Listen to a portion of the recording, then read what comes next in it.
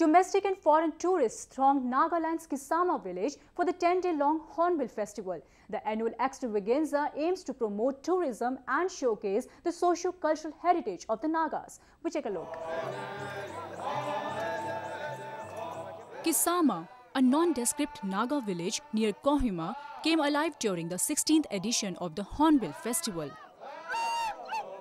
During the 10-day-long extravaganza, the tribes of Nagaland showcased their culture, food, folk dances and music. The event is organized to pay tribute to Hornbill, the most revered bird of the Nagas. It also encourages inter-tribal interaction and promotes the cultural heritage of Nagaland.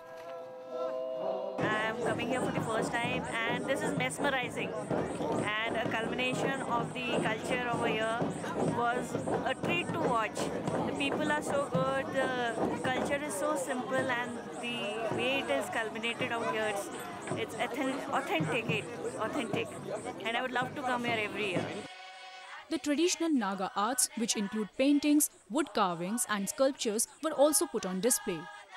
The festival also provided a platform to the local entrepreneurs and craftsmen to showcase their products made from bamboo and cane, folk music instruments, Naga souvenirs, artificial jewelry, and Naga household utensils. মই বৰমাতে এইটো টাকলাং একটা টাকলাং ডিষ্ট্ৰিক্টে খামলাও বস্তি একটা আছে না তাতে মই শিখিনে অহা আছে নংবাতে তো এইটো ককাই খান বা ফফাৰ খান বা এইটো বনাই কিনে পাইছে তাইখান পইলা এইটো payment service ki pa tem de jo handicraft paise moi bi itui itu pura se de People also demonstrated old age activities and various indigenous games during the event.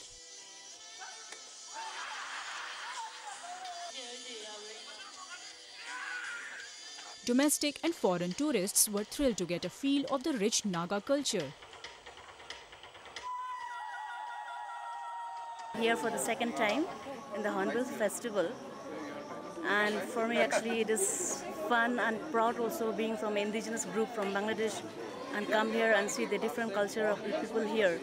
So for me like you know just came to see and get some idea for our indigenous people back there at home. The culture is so good and this this heritage village I, I, I want to come every year. The Hornbill Festival has become an international event and attracts a large number of tourists. The state is reaping the peace dividends after normalcy returned to the state after decades of armed insurgency.